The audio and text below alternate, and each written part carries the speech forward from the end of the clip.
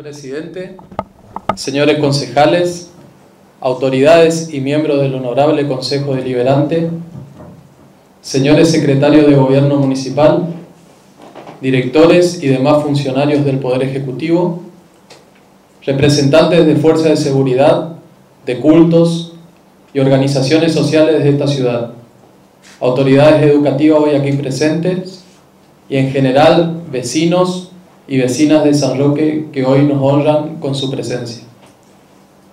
En este día me toca por segunda vez como intendente municipal dar inicio al periodo de sesiones ordinarias de este honorable Consejo Deliberante. Honorable Consejo Deliberante que debe ser el hogar de la democracia sanroqueña y del que me honra haber sido parte.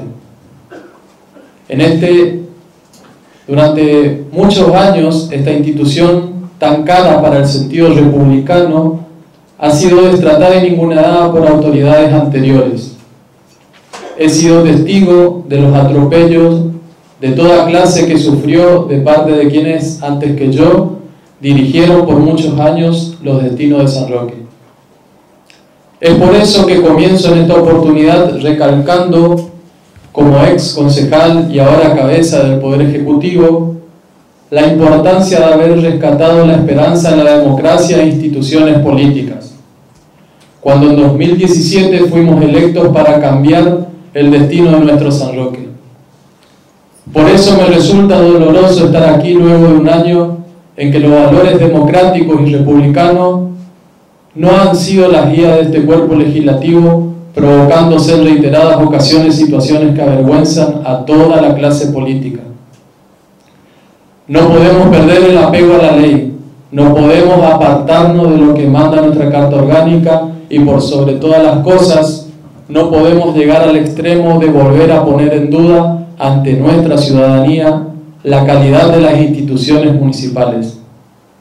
Este intendente y su equipo han respetado en todos los sentidos al Poder Legislativo como nunca antes se vio en San Roque.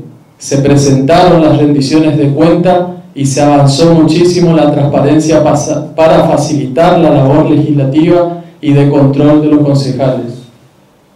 No se hizo uso de las facultades excepcionales del Ejecutivo en cuestiones normativas, ni aún en los casos de emergencia, prefiriendo siempre dar participación al Poder Legislativo en dichas cuestiones, con un bochornoso resultado de siquiera obtener tratamiento de dichos proyectos.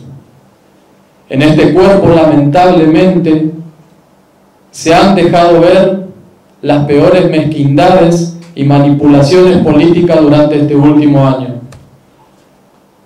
Han, han incumplido la ley y el reglamento dejando en evidencia la falta de apego a las normas de quienes llevan adelante su conducción.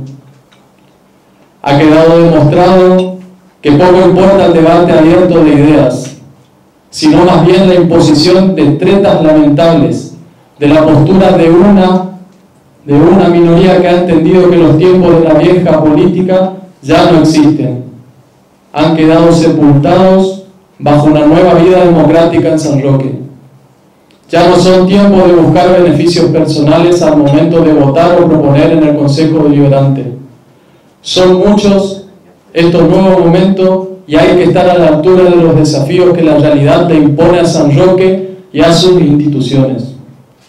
En el día de la fecha le hablo a un consejo con una mesa directiva sin renovarse para 2019, con la ausencia de una concejal sin que se haya dado ingreso a su reemplazo legal, lo que implica la carencia de representación de todos los vecinos y como es de público conocimiento, varias sesiones extraordinarias convocadas por este intendente que han sido ilegalmente obstruidas por las autoridades legislativas.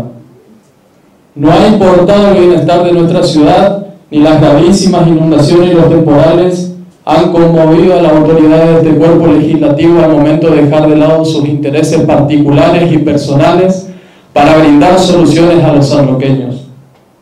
Desde las bancas opositoras no ha existido proyectos serios que brinden avance alguno o tengan a los vecinos como destinatarios. Se ha limitado su labor legislativa a obstaculizar con mezquindades el desarrollo de las políticas públicas que hemos llevado adelante durante todo el año. Por suerte no han tenido mucho éxito en esta voluntad.